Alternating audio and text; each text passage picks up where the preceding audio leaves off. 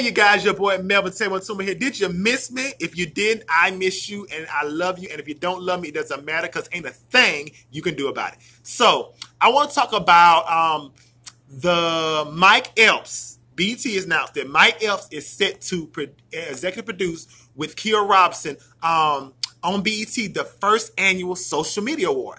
And to me, I think um, this is a good move for BET because social media what's taking over. Um, it's just a great big move. This is a good look for BET.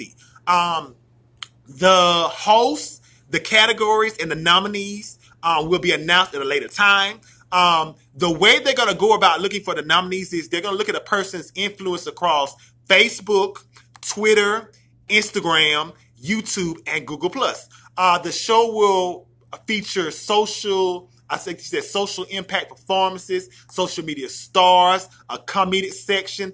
Um, and I just think that it's a really, really good move. Um, it's going to be a one hour show. People are saying, why it's only one hour? I think it's a good move for one hour because a lot of times people make shows like three, four hours. Sometimes it drags on, especially if the host can't carry the show. Uh, I think it's a good move. It's going to air live. Um, I think they said February 11th, live on BET.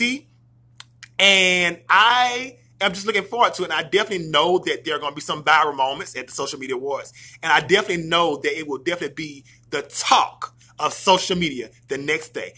Down in the comments below, tell me what you think about the social media awards, um, first annual social media awards. Like, subscribe, comment, share. Bye, my loves. Have an awesome day.